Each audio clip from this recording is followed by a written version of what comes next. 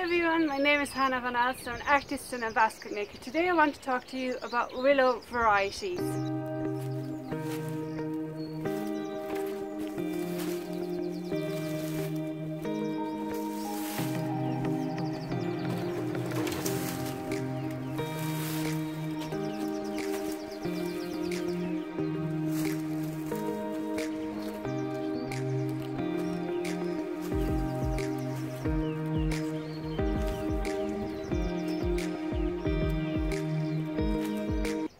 Why grow willow in the first place. I'll show you which varieties I grow and why. Willow has been used forever really, um, all through human history for making baskets in the northern hemisphere because it grows easily there it's it was very widely available and it was easy to coppice and um, to use it year after year. So over the last few centuries basket makers have been specifically selecting willow for basket making and they'll be selecting for um, growth habits, flexibility, bark colour, ease of um, stripping the bark off the willow for making buff and white willow. So we're very lucky that now at this stage we can fall back onto those varieties. They're still there, they're still being grown, they're still available in a lot of places. There are five major categories within the willow varieties. There's hundreds, probably thousands because they cross-pollinate as well. But there's five major categories. The one is the first one is purpureas. Um, you have triandras, you have, have albas, americana, you have viminalis. They are sometimes crossed to make hybrids. They are even more strong and um, vigorous usually uh, to grow. Why would you go through the bother of actually growing your own willow? Well, I have found it very hard to source willow in Ireland and I know that it's the same across the world really for a lot of people. Um, so um, having your own supply there, that you know it's there, um, growing it to um, the standard that you want, uh, growing the colours that you want, um, all that is, is a major plus when you're making baskets. There are a few suppliers but it's not always right beside your door. It's You're still talking about shipping, um, availability and a limited amount of varieties available.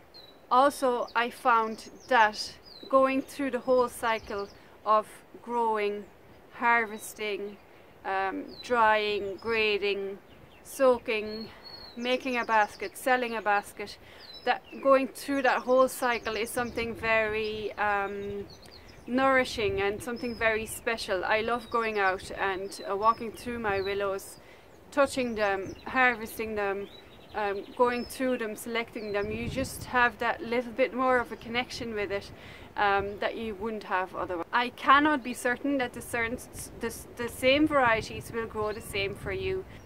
Growing willow will be very different in certain different climates, different soil types. Um, the orientation of the sun where you are, um, amount of rainfall, all that kind of stuff will have to be taken into account. So um, I have selected my willow over 15 years now and I have tried different varieties. Some have failed, some are doing better than others. So I've, I'm, I have selected over time. I think if you're going to start planting willow, you should do the same. Just try, try a few varieties, see what works if there's one or two varieties that do really well, you plant more of those. And over time, you just kind of slowly develop a range of different colors and types that you, you really, really like and that suit your soil and climate. Willow will need sun, water, soil. Um, sun, they do way better in full sun. Um, some of them take partial shade, but I would uh, recommend full sun. The soil, um, they're very easy on the soil. If you have a very rich soil, you'll have to pick your varieties um, to be smaller because they'll grow too big for basket making. So what we're looking in a willow rod is not a massive big rod that is um, 10 foot tall. What we're looking for is mainly between um, four and six foot uh, range, maybe a little bit higher if you're doing more uh, bigger work. Um, and we're looking for a rod that's nice and skinny to weave with. So um, a farm soil, a soil that has been farmed um, is usually a little bit too rich. Um, so, but in general, um, willow is very forgiving in soil. It does need water. It doesn't have to have its uh, roots in water the whole time. In fact, they don't like being in the water the whole time. But you do need regular rainfall, um, maybe uh, soil that um, keeps the water well. First of all, let's start with these skinny ones here. They're Lancashire Dicks. Um, they're very fresh and green looking at the moment. They will dry to kind of a grey, nearly blue. Um, I love them to bits. They are a little bit hard to grow for me here in that they don't... Uh, two years ago we had a very uh, hot summer and they got a little bit dry and they're since then they're a little bit smaller than, than I would want them to be um, but they're extremely flexible um, and they also have um, a very pronounced curve in the way they grow um, which I love to work with and experiment with and make like round bottom baskets and stuff like that.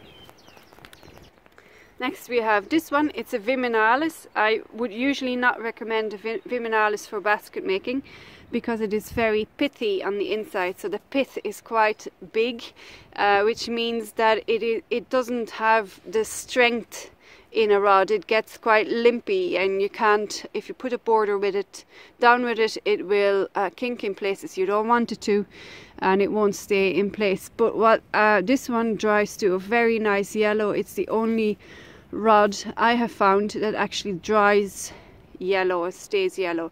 So I use a lot of that in um, my skibs for colour. Next here is the Vitellina. It's an Alba variety. Um, it looks very nice and yellow. I love it. Um, it grows very well here for me. Uh, pity that it doesn't dry yellow. It kind of goes uh, chocolatey brown for me um, but it's very flexible, a very useful uh, willow to have.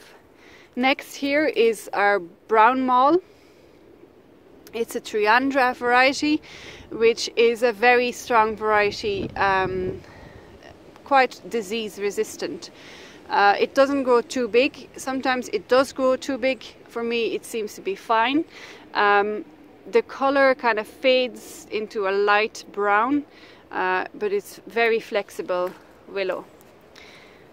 Next one up is Irish Black.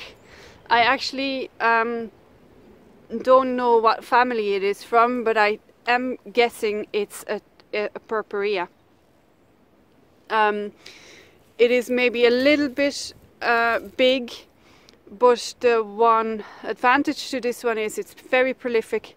Uh, there's a lot of rods on each stool and it dries green. Again, it's the only variety that I have seen that actually stays green when it's dry. Next one is our Salix uh, sanguinea. Um, it's a Flanders red. This one. Um, it's kind of light brown in colour. I love it. It's uh, very similar to the Vitellina, the yellow one at the start. When it dries, even in colour. Um, very disease resistant, vigorous, and it can be too vigorous in uh, rich soils, but um, it does really well here for me. The next one here is our um, Daphnoides. It's an Alba variety. Um, you can see it's the colour really. It stays a nice dark purple, has a little bit of a white bloom on it as well at times which is beautiful in, in a basket. A little bit vigorous for me, you know, it grows, you know, as you can see, some of them are quite heavy, but I, I just kind of live with it for because of the colour. Next up here is my Brittany blue and there's some Brittany green in the bundle as well. Um, they're they're purpureas, the same family. The, I both love them. They are um, quite tall, a little bit taller than the other purpureas, which I like. Um, the Brittany green um, stays kind of browny green. Um, the Brittany blue dries quite blue. Now my blue isn't as pronounced. I've seen it way more blue in colour in other places, in other soils where, where it has grown. But I still love it just for that hint of colour. Next one here is my Dicky Meadows. Um, it's such a versatile um, rod. It's again, it's a purpurea. I could have picked packing twine, which is very similar for me. It grows very similar, but for me, the Dicky Meadows is a little bit more prolific than the packing twine. So um, that one came out on top. Um, it's it's an all-rounder, um, skinny rods, very flexible. Uh, I love it. Thanks so much for watching this video. If you enjoyed it, you can like the video or subscribe to my channel so you get regular updates when I post a new video. I'll leave links below the video of um, my free course on basket making. It's a beginner's course, takes you through each step of making a basket.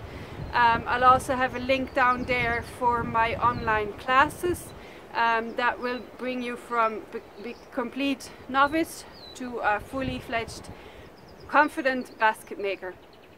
I also want to leave a link below if you want to learn more about growing willow, about the varieties I discussed a little bit more in detail.